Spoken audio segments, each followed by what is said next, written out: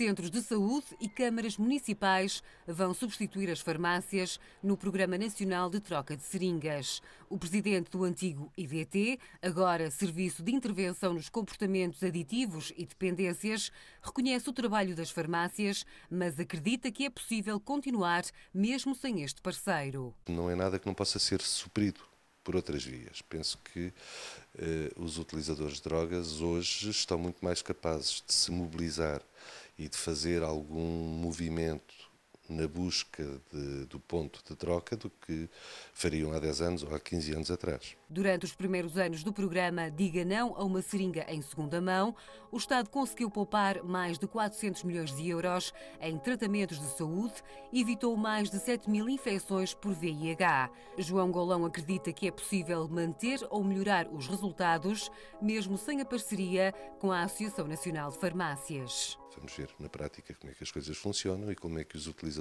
aderem, mas pode ser uma via de dar continuidade, de facto, a este, a este programa confio que seja possível manter ou melhorar ainda os níveis de partilha de material infectado que têm claramente diminuído ao longo dos últimos anos. Os centros de atendimento a toxicodependentes que passaram do antigo Instituto da Droga e Toxicodependência para as administrações regionais de saúde também trocam seringas usadas por novas e as brigadas de rua, asseguradas por organizações não governamentais, mas sob o comando do CICAD, vão continuar o seu trabalho de proximidade para acudir a casos de maior emergência.